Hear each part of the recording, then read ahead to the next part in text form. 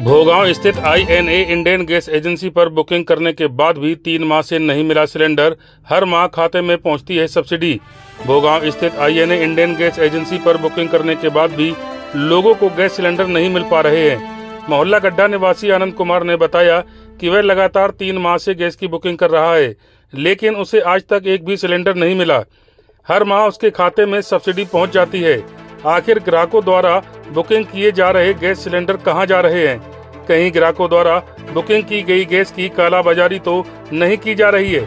वहीं एजेंसी संचालक द्वारा गैस के पॉइंट चलाने वालों को पर्याप्त गैस सिलेंडर मुहैया कराए जा रहे हैं। कहीं ऐसा तो नहीं कि ग्राहकों की गैस पॉइंट संचालकों को ब्लैक में बेची जा रही हो।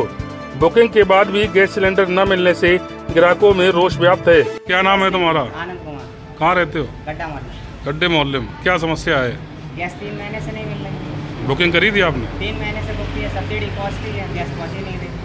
मतलब लगातार तीन महीने से बुकिंग कर रहे हो सब्सिडी आ रही है। सब्सिडी आ रही है। गैस नहीं मिल रही। गैस मिल नहीं रही। तो आपने इनसे पूछा नहीं गैस कहाँ जा रही? मतलब आपके नंबर से जो बुकिंग हुई होगी वो गैस तो वहाँ से निकली होगी ना?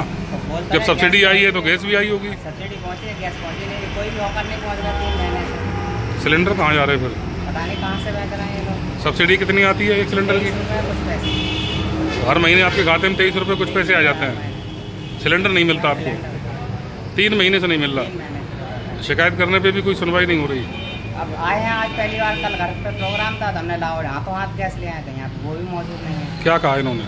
बोले गैस है ही नहीं कल आके देखो। तो आपने ये नहीं पूछा जो गैस हमारी आई वो कहाँ गई? अब है ही नहीं बताया है गैस ही नहीं मौजूद है क्या करा जाए? यहाँ पर सुनने वाला नहीं है।